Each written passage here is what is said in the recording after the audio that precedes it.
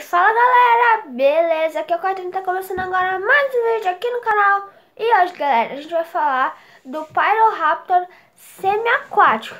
Sim galera, o Pyroraptor semi-aquático. Aquele mesmo que apareceu no Jurassic World Domínio Perseguindo o Owen e a... A pilota do avião, né? A gente vai falar sobre ele, mas antes disso, deixa seu like, se inscreve no canal e compartilha, né? Por favor, compartilha e deixa seu like, se inscreve, né? Eu tô sempre falando. Porque a gente tá quase batendo 310 inscritos. tava com 305 quando eu meio que parei os vídeos, né? Parei.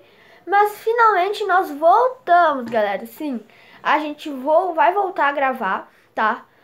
Vou postar dois vídeos na terça e na quinta. Eu, antes eu postava todo dia, tá?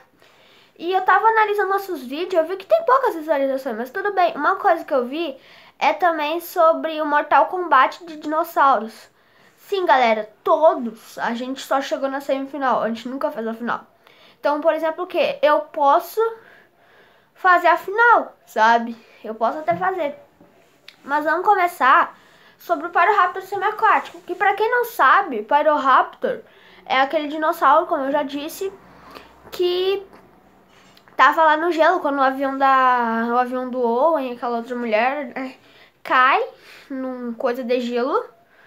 E aparece lá o Paroraptor, né? O único dinossauro que tava vivendo lá.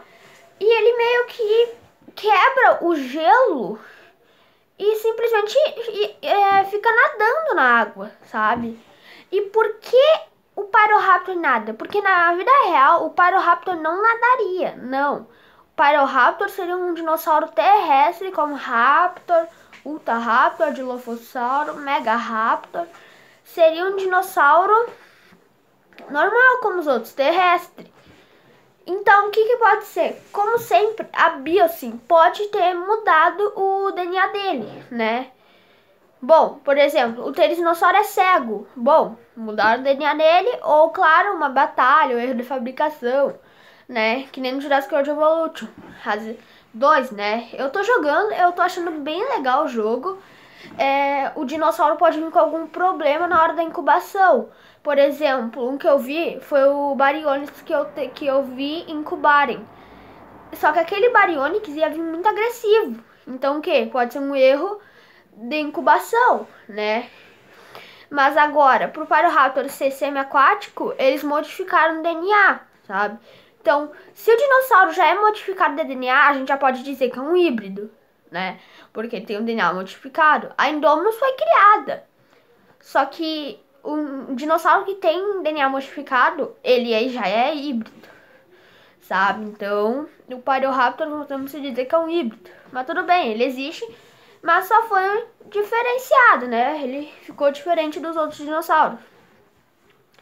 Então, o que, que, pode ter acontecido com o Pyroraptor ser semi-aquático? Sim, porque ele vive na terra e também na água.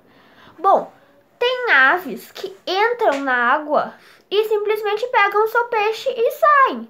O pinguim é a mesma coisa. Então, talvez eles podem ter botado um DNA de pinguim ou de outro animal qualquer que nade na água gelada, né? Aquela água tava gelada, já que ele tava embaixo do gelo. Então a água devia estar muito gelada. Por isso que ele tinha penas, né? Então, o Pyroraptor é semi-aquático. Modificaram o DNA dele. Modificaram. E provavelmente deixaram algum dinossauro. Ou, ou, dinossauro não, né? Acho que não. Mas colocaram outro animal no DNA desse Pyroraptor. Isso fez ele ficar semi-aquático. Bom, pelo menos eu acho que é isso, tá? Galera, esse foi o vídeo de hoje, tá? Um vídeo curtinho, mas pra explicar sobre coisas. O meu canal, ele explica coisas sobre dinossauros, tá? Então, esse é o vídeo de hoje, espero que vocês tenham gostado. Daqui a pouco vai sair outro, tá? Analisando o trailer do acampamento jurássico.